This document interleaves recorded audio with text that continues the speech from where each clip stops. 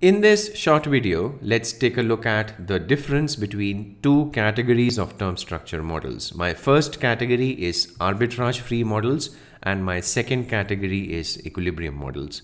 Let's begin with taking a look at the difference in the core meaning or essence of these two categories. An arbitrage-free model, its main intent is to capture the information which the market serves to you. This information can be about how investors expect short-term rates to evolve with time. This information can be about risk premiums, which investors believe are embedded in the prices of long-term bonds compared to prices of, let's say, short-term bonds but whatever the source of this information is, the model believes that the information is important enough to be captured accurately inside the model. Okay. Now let's come to an equilibrium model. An equilibrium model, it starts with a certain core assumption. This core assumption can be, for example, about mean reversion of interest rates. I mean, the model believes that there is a long-term mean interest rate which is let's say governed by the productivity of capital or let's say governed by the monetary policy and the short-term rates slowly and steadily mean revert towards this long-run average mean rate. An equilibrium model can start with this assumption that there is a risk premium which is required, let's say to entice investors to shift their, let's say, focus away from short-term bonds into investing in long-term bonds which we know carry higher amount of interest rate risk. But whatever the starting assumption is, the intent of the model is to start from that assumption and then somehow build a risk neutral model that can then price various instruments or securities. Okay. So at the heart of the model, remember this, that there is an interest rate assumption which this model starts with. Okay. Then let's move on to a very important difference. And that's what textbooks quote as the main difference between these two categories. And that is how the two categories deal with the initial term structure of interest rates. An arbitrage free model, I know it tries to capture information from the market. It believes that information is golden. It needs to be captured accurately. And therefore, when you serve a term structure of interest rates, to an arbitrage free model, it will try to exactly match that term structure. It will try and calibrate itself to that term structure of interest rates. And by that, I mean that if you were to price after calibration is done, I mean, if you were to price various market traded bonds or swaps using this arbitrage free model, then you will be able to get from the model the same price as what is being traded in the market. I am here focusing on those instruments which went into creation of the term structure of interest rates. Remember that concept of or that procedure of bootstrapping. So I'm referring to those instruments here basically. Okay. Now let's come to equilibrium models. Equilibrium models, we said their core was some kind of an assumption okay, some kind of an equilibrium model of the economy. That assumption is what this model wants to be built upon, but this model cannot really operate in isolation. At, at some stage, this model has to be as close as possible to what the market is telling you. So while this equilibrium model has absolutely no intent to exactly match the term structure of interest rates, but it still tries. It tries to match it on a best fit basis. So you might be able to match your market term structure at some tenors or maturities, but you won't be able to match it exactly. Okay. So this is about the difference in the treatment of the term structure of interest rates. Next, let's take a look at this definition of arbitrage. If an arbitrage free model says that I am arbitrage free, this arbitrage is with respect to the market or versus the market. I told you that this arbitrage free model, when it tries to exactly match the market term structure, it does so by making sure that the model price or yield is exactly equal to the market price or yield. Okay. So the absence of arbitrage is basically with respect to the market. when it comes to equilibrium models, the model prices which you get from this model are consistent with each other. What does that mean? All these model prices are arrived at using a model which was founded on that core assumption which it began with okay and therefore when you get all these model prices all these model prices are therefore consistent with that assumption and hence they are consistent with each other as well so these model prices we say they don't allow for arbitrage in the sense of these prices being internally or endogenously consistent but when you compare these model prices with the market prices, of course, you will have gaps. Okay. The model prices may or may not match the market prices. And that's where this model comes and tells you that there are securities out there which are underpriced relative to the market and there are securities which are overpriced relative to the market okay so that's the difference between how these two sets or categories of models deal with this concept of arbitrage. Okay. Now, let's take a look at the parameters. Let's start with equilibrium first. The parameters in equilibrium models, they tend to be constant parameters. Take a look at the equation of this model. This equation tells me that the change in the short rate over a tiny instant of time, it comes from two sources. It comes from a drift term and it comes from a volatility term.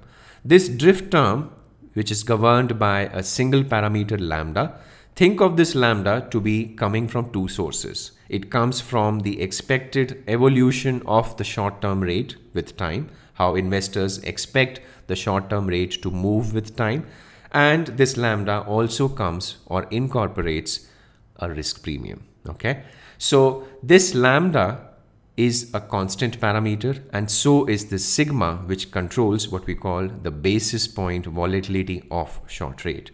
If you only have two parameters lambda and sigma, this would make this model slightly inflexible for it to be able to exactly match the term structure which you have for the spot rates and the term structure which you have for implied volatilities of these rates for example okay so if you only have these two parameters which are constant, I'll find it difficult to exactly match the market information. Then what do we do? We basically create from this equilibrium model an arbitrage free model. How do we do it? We do it by taking in the constant parameter of this equilibrium model, notably lambda in this case, and making it time varying. Okay. So once I move to this model, See, because in this model, your lambda is a time varying version of the constant lambda, this model now gives you ample flexibility to go and match the market. Okay.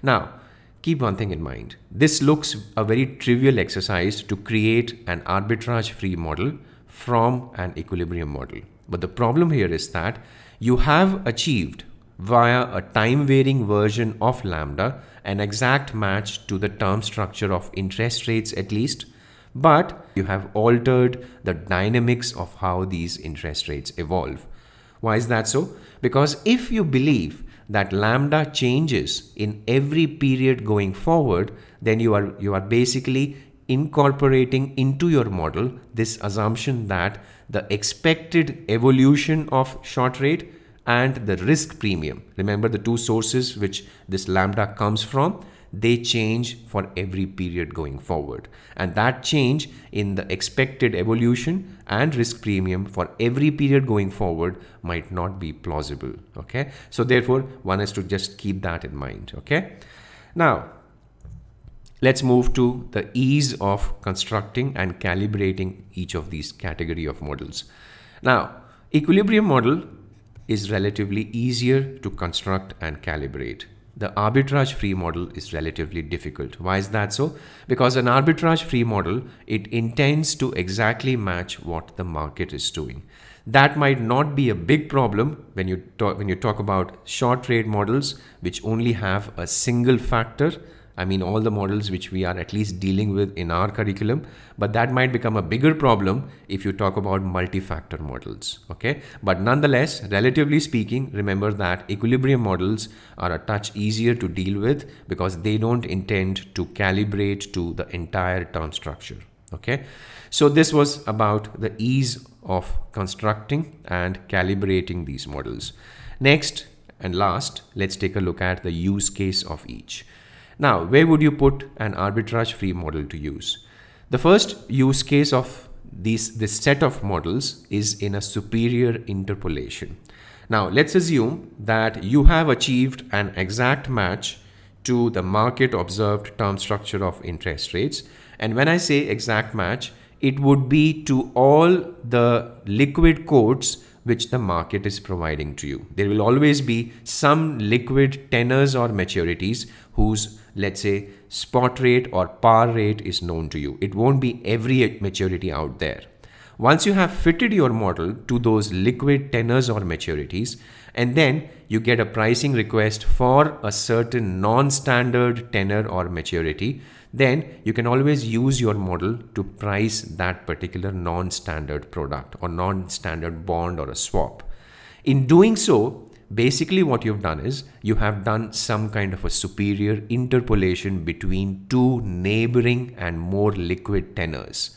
If you were not using an arbitrage free model, you would have done that interpolation using a numerical method such as a cubic spline method. And what we are saying is that because this arbitrage free model captured the entire information which the market was telling you, in that sense, this interpolation is superior.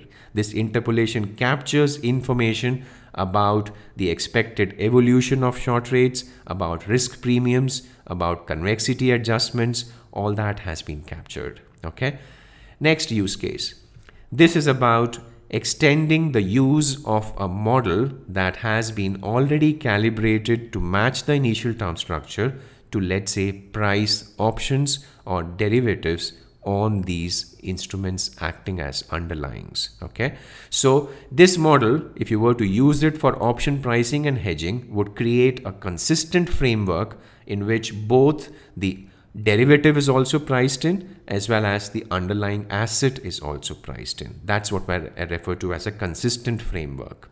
The underlying asset in this model has a model price which exactly matches the market and that would come in handy if you use this model for hedging purpose. Okay, so the hedging when you place these hedges you won't have any PNL or profit and loss impact just because your hedges don't have a model price which matches the market price. There's a difference between model versus market.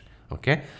Then before I move ahead, let me just highlight an important downside that you have to look out for when you use arbitrage free models. Well, the, the main attraction of this category of models is that it exactly matches what the market is providing in terms of information. But what if that information is distorted in some way? What if the prices that you are trying to match they are distorted by factors such as demand supply imbalances, factors such as liquidity, factors such as taxes. Now, if those prices are distorted and if this arbitrage free model tries to always match whatever the market is providing and maybe do so blindly, then you are actually attributing all those distortions to the interest rate process, which is something which is not right. Okay. One way you can detect this distortion happening is if you take a look at these lambda t's. Okay. Lambda as a function of time. For example, I'm using this model. So in this model, if the lambda which I get, which is a time varying lambda, after I have done my calibration, if that lambda comes out to be, let's say, drastically changing every period okay? It's all over the place. That means that this lambda is economically not plausible. What it means is that this lambda is is truly pricing in some kind of a pricing distortion okay? A distorted set of prices okay? That is something for you to keep in mind. Now let's come to the use case of equilibrium models. Now equilibrium models they become very attractive to you if there is no reliable market data which an arbitrage free model can calibrate to. When I say there's no reliable market data, I'm assuming, let's say, I am trying to build a model which is for pricing instruments in an emerging market context. Okay, I'm talking about a bond market which has very few liquid tenors available and hence even if you were to try to use an arbitrage free model, then the quality of data which this model is calibrating to is questionable. Okay. Then an equilibrium model comes in very handy if your use case is about choosing between securities. It's about adding value by picking hedges amongst a number of alternatives available or your use case is about monetizing or exploiting temporary mispricings in the market. If you were using the arbitrage free model, it would just blindly price your, uh, or create a model price that always matches the market. So it won't tell you what is overpriced and what is underpriced. That's what an equilibrium model would do because its intent is not to match the market per se okay it will tell you that this security is overpriced this security is underpriced and then it's up to you if you would want to place trades on those securities in the hope that the economic relationship or the economic foundation on which this model was based on is indeed correct and eventually you will see the prices of these temporarily mispriced securities revert back to their equilibrium prices. And that's where you would then eventually stand to make money from these trades. Okay. So this was a comparative look at these two categories of models, arbitrage free versus equilibrium. I hope this the set of differences that we highlighted in this video would come in handy when you take a look at the various models that come in later in the two prescribed chapters which deal with various term structure models. Okay.